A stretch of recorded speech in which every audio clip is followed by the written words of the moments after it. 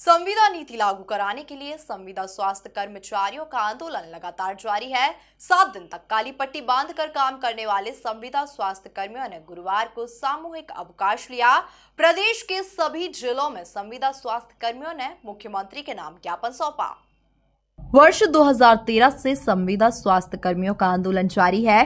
पिछले सात दिनों से संविदा स्वास्थ्य कर्मचारियों ने काली पट्टी बांधकर आंदोलन किया था। गुरुवार को संविदा स्वास्थ्य कर्मियों ने सामूहिक अवकाश लेते हुए राज्य सरकार के खिलाफ प्रदर्शन किया।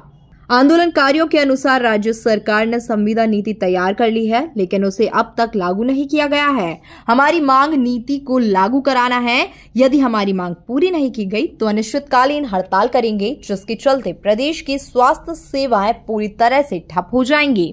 हमारे संविदा स्वास्थ्य कर्मचारियों का जो मुद्दा चला रहा है, सन 2013 से चला रहा है। 2013 से लगातार आंदोलन हो रहे हैं। इन आंदोलनों के पश्चात माननीय शिवराज सिंह जी ने एक पाँच जून 2018 की नीति बनाई, जिसे संविदा नीति कहा गया। वो 2018 के बाद जब संविधान नीति बन गई है तो आज पाँच साल होने के छः साल होने के बाद भी 2022 तक वो नीति लागू नहीं हो पाई।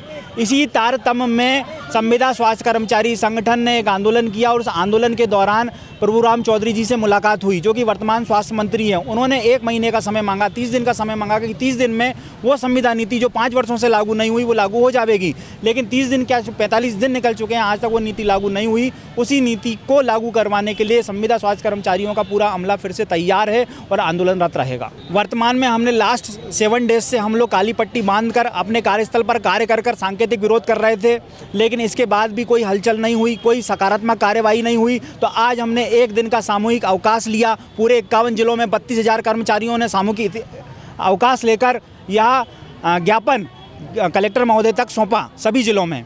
स्वास्थ्य कर्मी के अनुसार कोरोना काल के दौरान फ्रंट लाइन वर्कर के रूप में संविदा स्वास्थ्य कर्मियों ने काम किया। सरकार की कई योजनाओं का क्रियान्वयन हम करते हैं। इसके बावजूद सरकार हमारे साथ सौतेला व्यवहार कर रही है। Bureau report MP news Indore.